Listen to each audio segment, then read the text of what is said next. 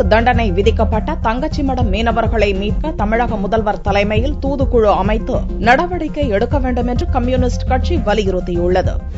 தங்கச்சி மடத்தைச் சேர்ந்த ஐந்து மீனவர்களுக்கு இலங்கை நீதிமன்றம் தூக்கு தண்டனை விதித்ததை கண்டித்தும் அவர்களை தாயகத்துக்கு மீட்டு வர கோரியும் பல்வேறு போராட்டங்களில் ஈடுபட்டுள்ள மீனவ அமைப்புகள் ராமநாதபுரம் நாகை புதுக்கோட்டை காரைக்கால் பகுதியில் காலவரையற்ற வேலை நிறுத்தத்திலும் ஈடுபட்டு வருகின்றனர். திங்களன்று தங்கச்சி மடத்தில் சிதம்பரம் தொகுதி மார்க்சிஸ்ட் மார்க்சிஸ்ட் கம்யூனிஸ்ட் கட்சி எம்எல்ஏ பாலகிருஷ்ணன் தலைமையில் ஆர்ப்பாட்டம் நடந்தது. முதல்வர் பன்னீர்செல்வம் தலைமையில் தூதுக்குழு அமைக்கப்பட்டு அந்த குழு பிரதமர் மோடியை சந்தித்து மீனவர்களை மீட்க நடவடிக்கை எடுக்க வேண்டும் என்று அப்போது பாலகிருஷ்ணன் கேட்டுக் கொண்டார். மார்க்சிஸ்ட் கம்யூனிஸ்ட் கட்சியின் சார்பில் இன்றைக்கு ஐந்து குடும்பங்களுக்கும் எங்களுடைய ஆறுதலை நாங்கள் தெரிவித்துக் கொள்ள விரும்புகிறோம்.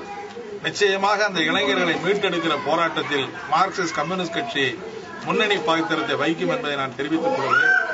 மாண்புமிகு தமிழக முதலமைச்சர் தமிழக அரசை நாங்கள் கேட்டுக்கொள்வதெல்லாம் மாண்புமிகு தமிழக முதலமைச்சர் அவர்கள் ஏதோ இந்த பிரச்சனைக்கு இந்த பிரச்சனையை மையப்படுத்தி பிரதமருக்கு கடிதம் எழுதி கொள்வதனால இந்த பிரச்சனை தீராது. மத்தியிலே இருக்கிற ஆட்சியாளர்கள் எந்த கடிதத்தை பற்றியும் கவலைப்படுவதில்லை.